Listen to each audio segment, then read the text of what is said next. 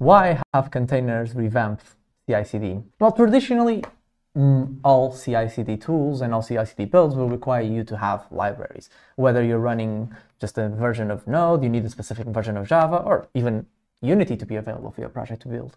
Um, you always would need these tools and frameworks uh, to be available in your agents where your builds run.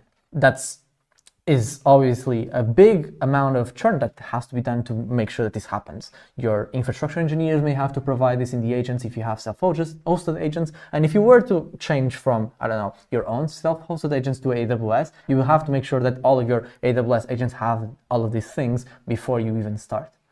This always was a bit of a hassle, right?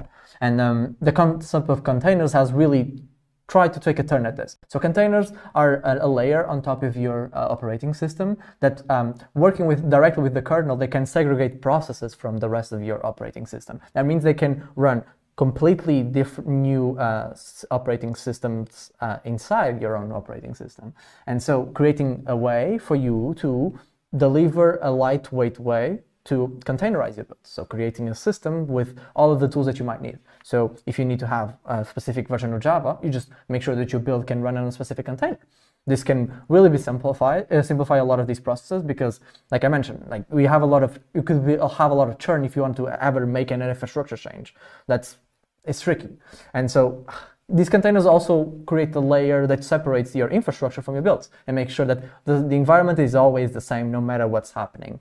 And at the same time, you also create very stable environments, which you know that the builds that are run locally will be the ones that will run in CI/CD, and will also be the same logic that will run when you deploy your application, for instance. And that creates a lot of safety on how your your product works. So there's a lot of uh, concepts that we haven't touched here, but let's, let's make sure we understand how these works within TeamCity. So let's have a look at this example build that I've created here. So it's called, well, Docker Showcase. and in this, uh, we have just a simple um, step.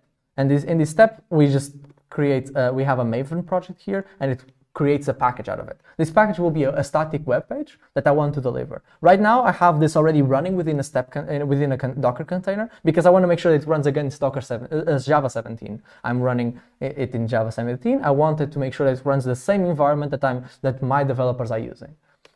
This is great, but how do I actually deliver this? I want to deliver this to, let's say, S3 in this case, because S3 is the way that I, I deliver my web page to my clients. So if I were to want to, to, to make that happen, I would have to add a new build step.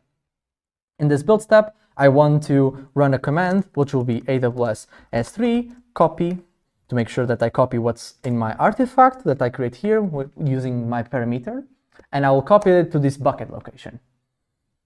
So this sounds great, but then I know I remember, oh, my agents don't have the AWS CLI installed. That's kind of a bummer.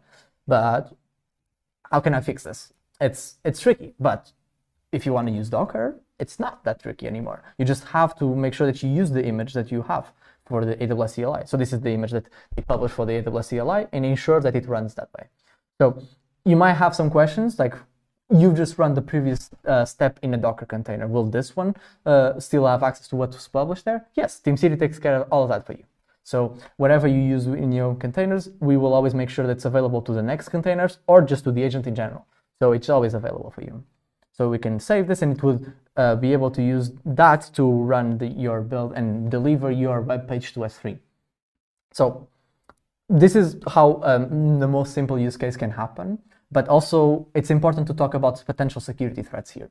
And images are very interesting, but public images can be considered a threat to some people. And depending on how of what the, the level of security you have to have in your business, you may want to consider publishing your own images because then you have control of who publishes it, when it's published, and exactly what's published. And then you, you reduce the number of attack vectors that can uh, threaten your builds.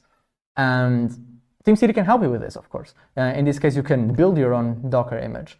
For instance, uh, we have this Docker command here this Docker command allows you to um, have a path to, uh, to build your own image locally. Let's, for instance, uh, use this parameter I have here for the Docker file path, and it can build an image with a specific tag. We can call it my AWS tag, CLI, and then you uh, can even version it here. You can use the build number. So that means that you always will create a new image with a new build number that you can then you can ensure that it's always publishing a new one.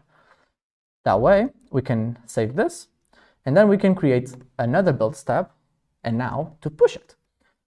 The, we have uh, the name, my AWS CLI, and then we use, again, the build number as the tag. So this will allow you to push your image. Usually you would do this to a private repository that you will have it configured uh, directly, but yeah, we will not worry about this here naturally. So this way, you'll have your image that you control. It's published whenever you want, but it also can use your own version control system. So whenever you have a change to it, it will naturally push a new image and you can reuse it in your builds automatically. So yeah, this is how the, our Docker integration works, and I hope you've enjoyed your video. Bye.